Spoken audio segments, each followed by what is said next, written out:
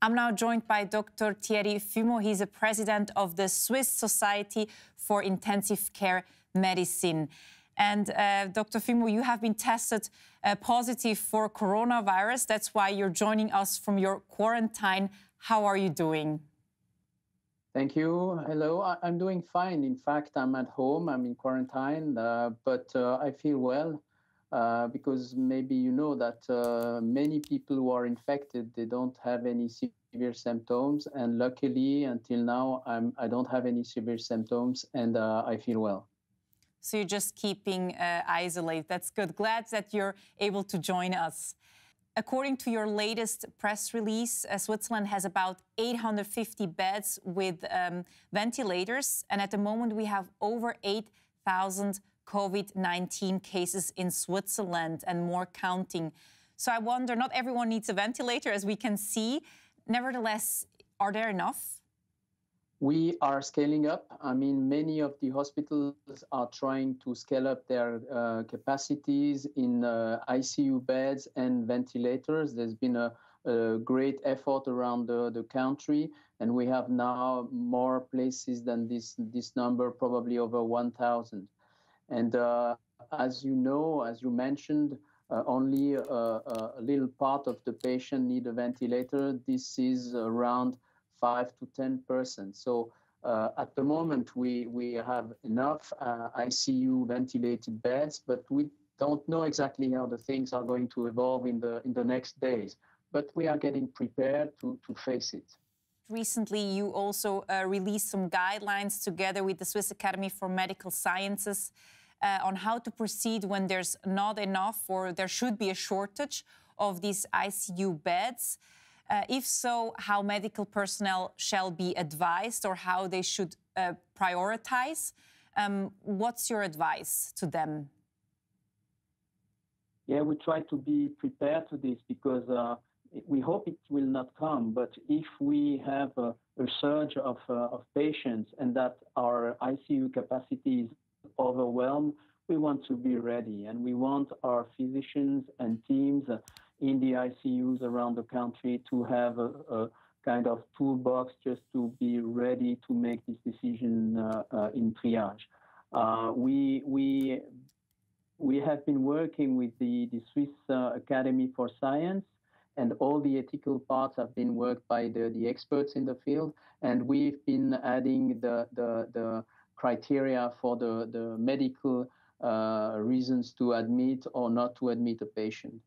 Mm-hmm. And so uh, we we try to to give some counsel, uh, some some advice, sorry, to the to the to the physician and to the teams to to make this difficult choice if they were to be confronted in the next days. Let's say if there is a complete overload of capacities for intensive care units and ventilators, and patients have to be refused? What's the criteria? First of all, uh, that we have to take into consideration the, the, the, the advanced plan uh, of the patient. That is very important. If someone has decided not to go to an ICU, this is very important to take this into account. Second, all the ethics principles that were already published years ago by the Swiss Academy of Science are still uh, the basis for the decision. Mm-hmm. Third, we have to decide on the prognosis of the patient. We have to choose the patients who have the best prognosis and will uh, get the, bet- the, the best out of the ICU stay. And this is a difficult choice, and it's not always uh, only based on the, the comorbidities or the frailty index or the other uh, problems that the patient may have. Uh, it's a it's a difficult task for the for the physician, and that's why we publish these guidelines. And uh, uh, I hope that the, the, the uh, my colleagues who will be confronted in the next uh, uh, days or week, they, they will be able to use these guidelines.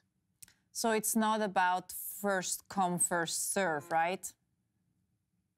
We try to avoid this kind of uh, criteria and also to avoid uh, age as, a, as the only criteria or social or economic conditions. So mm-hmm. we want to, to take into account the, the, the, the, the interest of the patient. We want to save as, as many lives as possible. So it's the, the, the patient who will get the best out of their ICU stay that will be admitted and that will be uh, uh, taken in charge in the ICU for many days. Um, what if someone has to be refused uh, a treatment? What else do you offer then? What kind of treatment?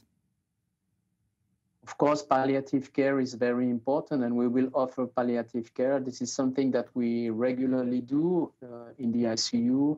Uh, people don't realize that, but many people, in fact, are regularly dying in the ICU, and our teams in the ICU are trained to to do palliative care and to to give uh, the medication that is needed so that the dying process of the patient is uh, not too terrible for him and for his uh, relatives. So we will not abandon patient. We will simply choose between mechanical ventilation and palliative care.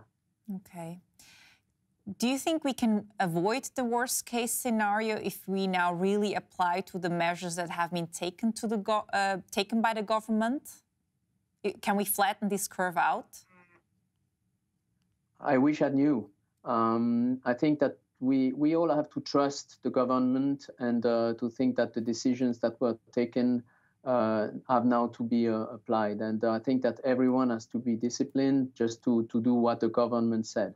It's no time for discussing, arguing. I think uh, we will have the occasion to discuss that in a in a in a few weeks or months time, and to see if these decisions were good or not at the at the present time it's not it's not the, the right time for that i hope that all that has been taken uh, as a decision will have an effect and will flatten this uh, this curve this is very important for our health system because if we can flatten the curve if we can decrease uh, the the the, the uh, amount of uh, the surge of patients uh, who will come in the next days or week this is a uh, uh, something very important for, for our ICUs and for our hospitals and the general health system. And on that note, is there any advice you would like to give to our viewers?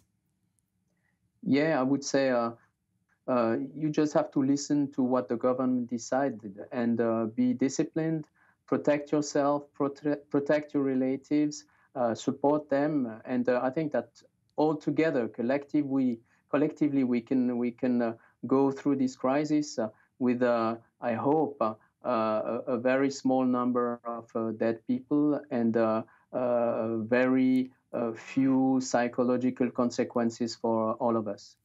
Thank you very much. And, and just quickly, what about you? When do you think can you get off quarantine? Uh, it's 10 days and uh, at least two days without symptoms and uh, just now I don't have a lot of symptoms, and uh, I will be uh, okay for going back home, uh, not home, going back to work, sorry, uh, on Friday, Friday morning. Okay, great. And uh, good luck with that, and thank you so much for joining us.